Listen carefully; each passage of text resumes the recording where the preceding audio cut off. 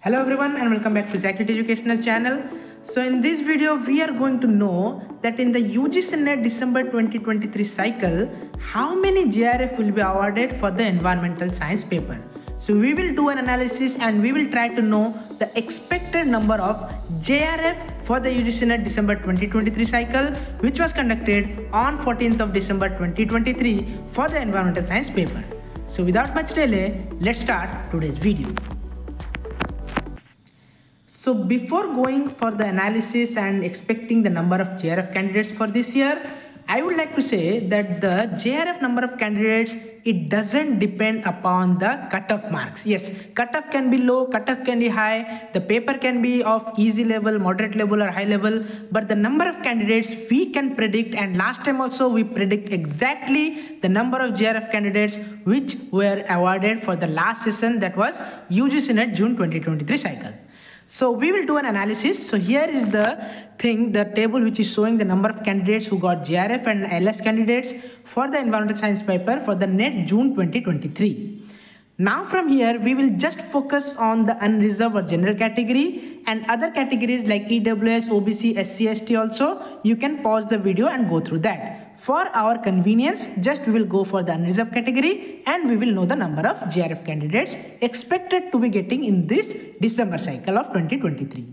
So in the unreserved category, that is general category, the JRF total were 51 candidates they were awarded for the JRF category. Similarly, I will give an example. For the OBC candidates, you can see 38 candidates were given as JRF category. Similarly, for SC19, for ST9, and likewise, we can see for all the categories JRF number of candidates they got.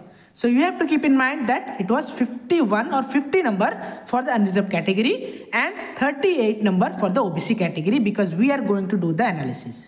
Now let's move on to the next slide and we will know about the previous years the number of JRF awarded for the UGC NET environmental science paper that will clear our expected number of JRF. So this is regarding the UGC NET December 2022 cycle for the environmental science subject and how many JRF candidates they got. So in the unreserved category you can see here, here in unreserved category 50 candidates got JRF Similarly, for EWS, they got 9. For OBC, they got 35. So what we will recall in the last exam, that is June 2023, 51 was the number of JRF. 38 was the number of JRF for OBC, 51 for general unreserved and 38 was for OBC. So it is almost similar to the December 2022 that means around 50 so it is also 35 38 they are also close enough. Similarly for SC they were 18 ST 10 likewise you can see for all the categories why I am telling is that because now to just confirm that we will move on to the merge cycle when the COVID times merge two cycles for the UGC net and one single results and one single list for the JRF categories were published that also we will know. Let's move on to the next slide. Yes, so here you can see UGC net December 2021 and June 2022 cycle. So as the two cycles were merged, so what happened is the number of JRF candidates also doubled. Yes, almost double. You can see here in the unreserved category how much 104 candidates they got the JRF. And our estimate is how much? It is around 50 coming for the last two cycles which you have seen. So 50 doubling of 50 is 100 around. So 104 categories they got in JRF category for the unreserved category. Similarly, our prediction that was we saw that in OBC it was 35 candidates or 33 candidates. There were 38 candidates. So the double of 38 is how much? Double of 38 or 35 it is coming around 76. So if the cycle is merged the number of candidates were double. So there were 77 number of candidates which got JRF in the OBC category. Similarly for SC it was 40, for ST 23. So it was almost double the number of candidates they are getting JRF in the normal cycle which was the single cycle conducted.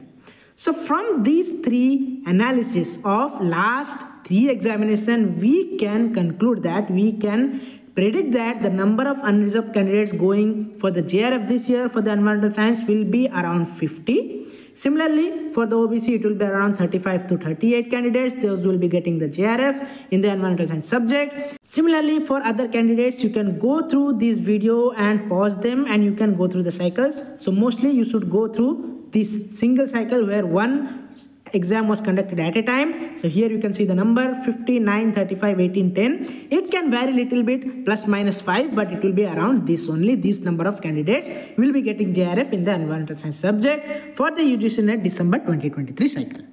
So this was the thing which we wanted to tell you through this video. I hope you have liked this and some of your doubts are clear. So don't forget to subscribe our channel ZakLiT for further updates. See you guys in our next video. Till then, keep preparing and keep believing in yourself.